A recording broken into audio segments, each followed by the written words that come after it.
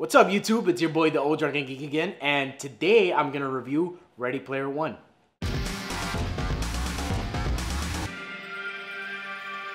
So, uh, this I don't want to say is Spielberg's at his best, but it is Spielberg as a return to form as far as like these big blockbuster movies are concerned. Uh, these big crowd pleasing movies, and personally, I dug it, man. I thought the movie was fucking off the chain, off the chain at that. Um, yeah, Spielberg does a good job of not making any kind of rookie mistakes when it comes to the world. Uh, he paints a vivid picture of the world, uh, develop, developing its history, uh, how it works, uh, and you know it's very easy to input characters in there once uh, you know how this world works. And that was ah, beautiful, tasty pasta. I swear to God. Something to point out is that this movie had beautiful, beautiful pacing. Again, Spielberg doing a Spielberg thing and not having any rookie mistakes that have you confused or wondering or losing interest early on. All the whole movie, but especially earlier on, the pacing is really well and it keeps you intrigued, intrigued enough until it just becomes spectacle. Like until the spectacle comes and just sucks you in completely into the movie and you are sucked into the movie. You go into this world of the Oasis that he creates. Also, the world of the Oasis's world. You know, um, the world of 2045. He explains it and you know how it got that way, more or less.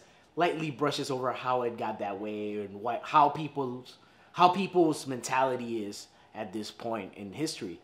So, um, with that being like stated, and then you know the Oasis being introduced, you you go into the Oasis, man, and just like the visuals. There are a few directors that could just shoot some of these scenes as cinematically as Spielberg can. I mean, you know, he's an OG. What you gonna say about Spielberg? He's an OG. And um, yeah, this movie is basically about a futuristic world, uh, a dystopic futuristic world in which everybody plays video games and intense VR games, uh, virtual reality games. Everybody is in this one world called the Oasis. I mean, they live in the regular world too, and um, you know, very like poor world. Like for it being the year 2045, which is uh, the year that this t- takes place in, they're living in a very poor world, and their escape is um, the Oasis, and everybody's plugged in. You also have um, giant companies that are kind of, in a way, trying to take over the Oasis uh, for business reasons and such. And um, so you have the creator of the Oasis, uh, a gentleman who just died uh, five years before this movie took place. He was the creator, kind of like the architect in the Matrix, and he left some Easter eggs. He left a Easter egg, one Easter egg, and whoever gets it is gonna like basically run the Oasis. And that's pretty much the rundown for the whole movie. Uh, you meet the heroes, and the heroes start unraveling it, and until they, you know, they're going for the Easter egg, and shit happens. I'm not gonna spoil it for you guys, but yeah. Another thing I wanted to say is that this movie is through and through a family movie. Uh, there's not much room for cynicism in this movie. Uh, even when things are getting serious and a little bit darker tones and serious things starts happening, the movie strikes a good balance in between not making it too dark and too, you know, like oh my god, too heady, and at the same time, um, striking that balance to where you actually care what's happening to the characters, and you know you feel that there's stakes, but it never gets too heavy. It's a family movie, and like I said, not a whole lot, lot of room for cynicism. Um, you could have had all kinds of crazy shit happen um, in the Oasis and in the world right outside the Oasis. But they don't go that route. They keep it family friendly and it's a good, good, good, great, if I must say, family film. Not only is it just beautiful and cinematic and well directed and all that good shit,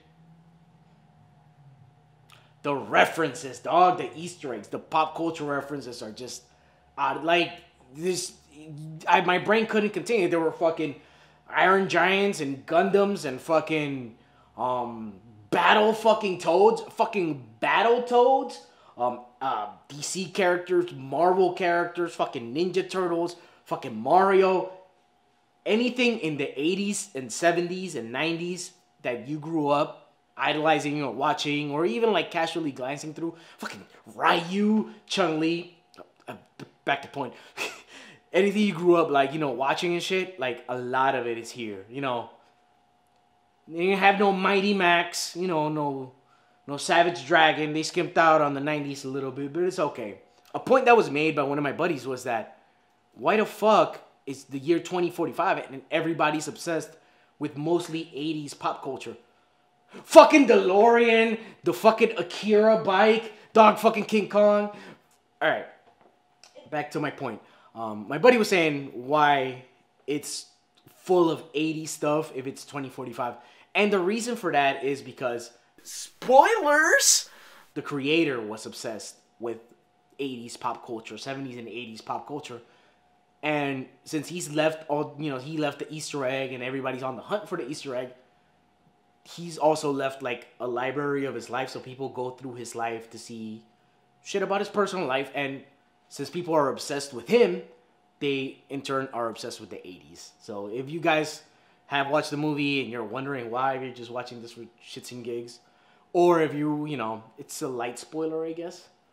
Yo, Chris, you can put the spoiler right before the shit goes up. Yeah. I'll try. Holla, holla, holla. Yeah.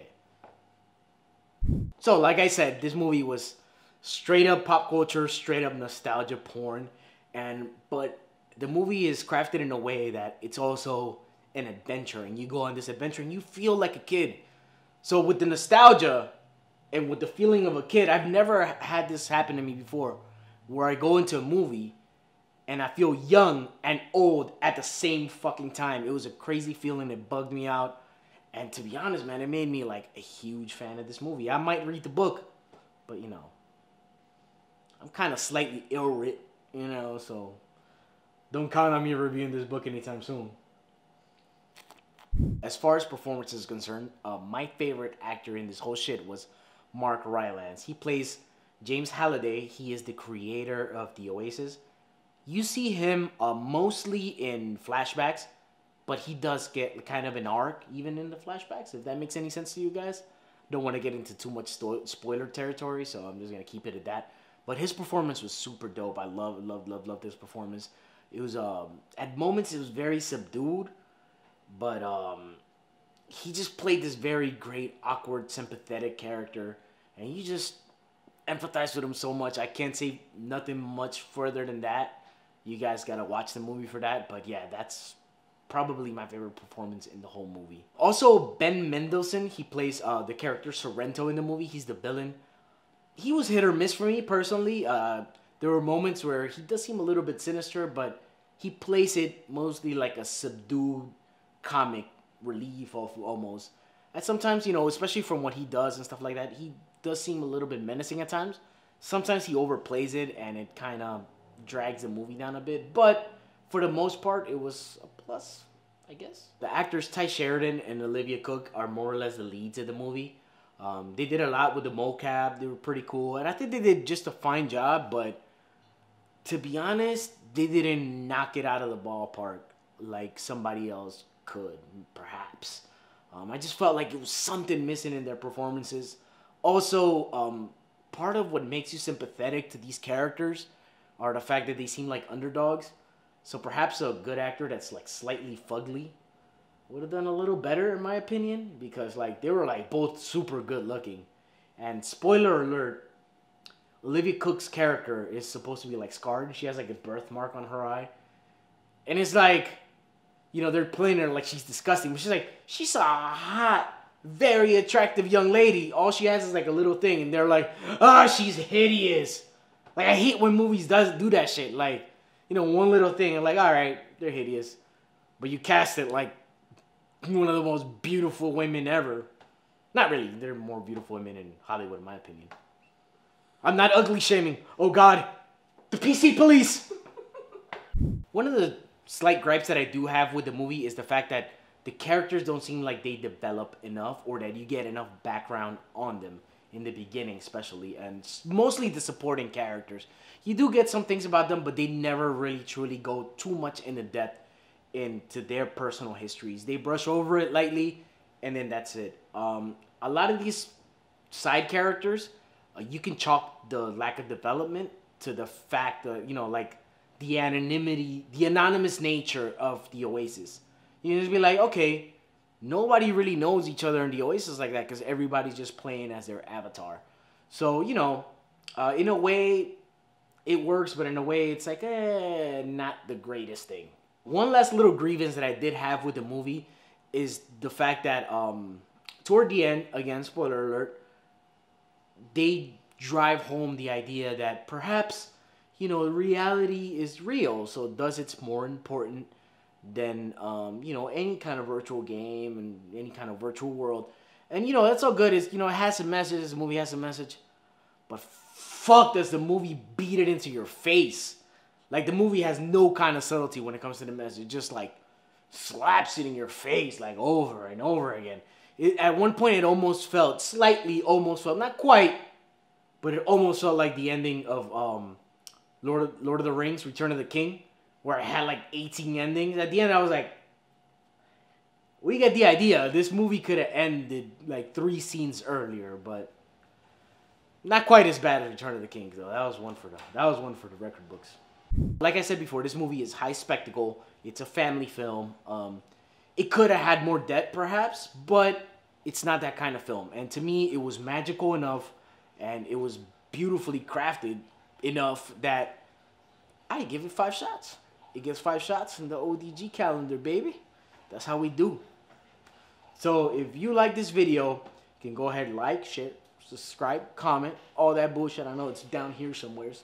And um, yeah, catch us on Instagram, dropping loads, old drunken geek. Um, catch you fuckers later.